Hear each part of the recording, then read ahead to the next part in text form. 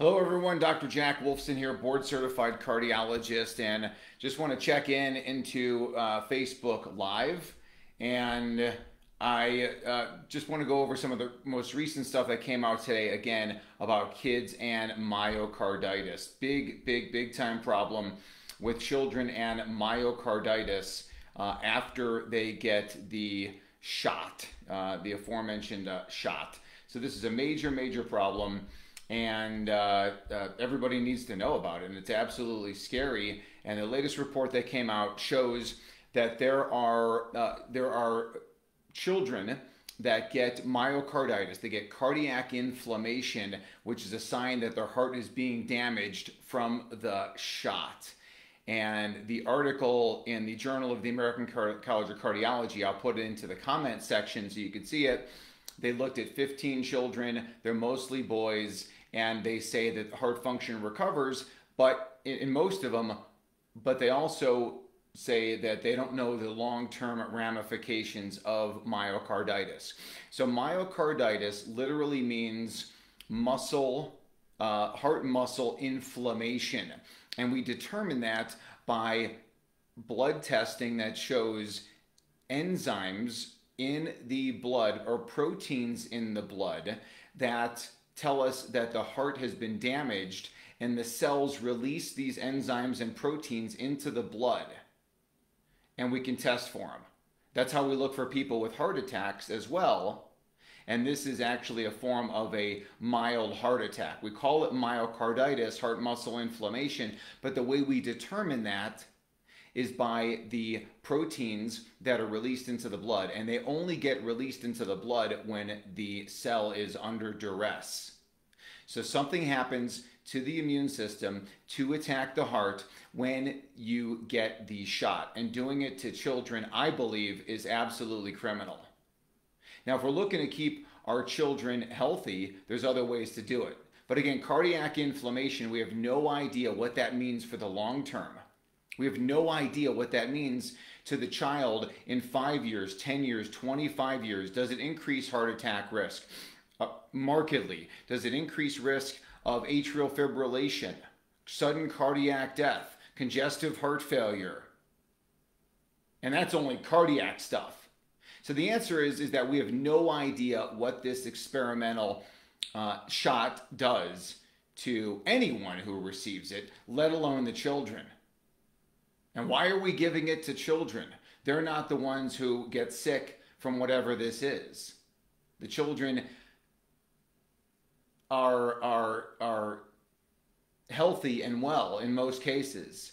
And then we subject a healthy child to this experiment and we're going to see the long-term ramifications and obviously the short-term ramifications of this. We don't know if it'll lead to shortness of breath in the long term, lead to difficulty with, with running or exercise or daily activities, what it does to lung pressures and pulmonary hypertension.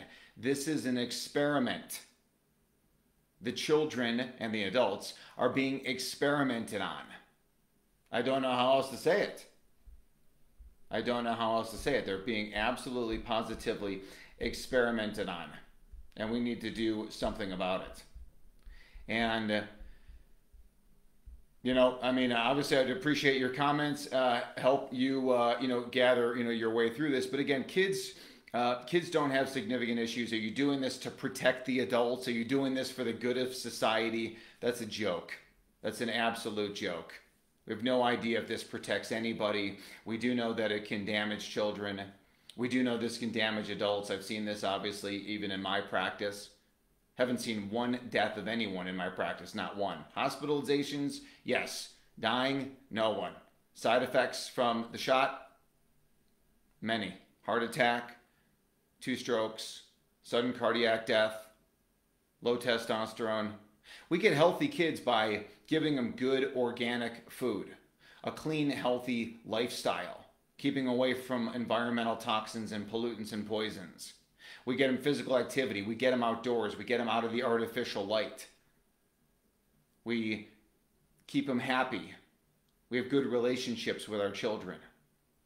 We get them out in the sun. We get them good quality sleep. We get them off the technology 24 7. That's what we do. That's what we do. So, why, why is your doctor recommending this to the children? Why? Because they can. Why? Because CNN and other news stations told them to do so. Why? Because the pharma rep comes in the door and says, hey, guess what? We're approved for children.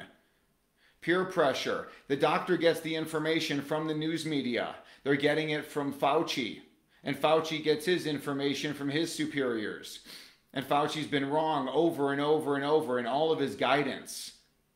That's where the doctors are getting this information from, from propaganda machines. Like a lot of even the medical journals, where you read an article and then the next page is an advertisement for a pharmaceutical. All the pharmaceuticals are being advertised on television right now. All the time. It's all about selling you products, selling you pharmaceuticals that you don't need. We get, again, the kids aren't the ones who are getting sick from this. The way to healthy kids is through good food, a good healthy lifestyle. See a doctor of chiropractic. Make the doctor of chiropractic your child's go to for health and wellness, your go to help for health and wellness. Enough is enough already with the poison and the experimenting. And now the American, uh, uh, the American Academy of Pediatrics, they recommend that the FDA go ahead and give approval for five year olds up to 11 year olds to now get the shot. Where do they get that from? These people are scum. These people are evil. As far as I can tell, they don't care about your children. They're not talking about eating healthy organic food. They're not talking about getting them off tech and getting them in the sun and getting them outdoors and getting them happy and getting them sleep and getting them adjusted. They're not talking about that. They're talking about, hey, let's experiment on the 5 to 11 year olds for something that doesn't even affect the 5 to 11 year olds. And I don't want to hear about some strange case. Oh, I got a friend whose kid, blah, blah, blah. There's always some horror stories. Show me the backstory on that child. And I'll show you a child who was not eating healthy organic food. They were not getting sunshine appropriately. They were not getting good sleep. They were knee deep in, in eyeball deep in the tech, surrounded by chemicals, mold mycotoxins, environmental toxins, pesticides, phthalates, parabens, PCBs, VOCs. A child that was just born into the poison. Healthy children have healthy immune systems and if we support that, that's the answer. That's the answer. So again, what I'm talking about right now is a study that that we, we've heard this already, but it's just another study, and I jumped on alive to say enough's enough already. And especially when I saw that the American Academy of Pediatrics, the vile filth that those people must be to recommend this experiment to five to eleven year olds now, if you don't know me, I've got a 14 year old, a nine year old, a three and a half year old, and an eight month old. This is the world that they are born into. This is what's going on to their generation. And for nothing, the American Academy of Pediatrics is pushing to inject poison into these children with no idea of long term ramifications. We know that a significant amount of them are getting cardiac inflammation. That means heart muscle is dying. And it may show some recovery in the short term. Again, we have no long term about increased shortness of breath, decreased physical activity, increased heart attack risk, increased stroke risk, increased heart failure risk.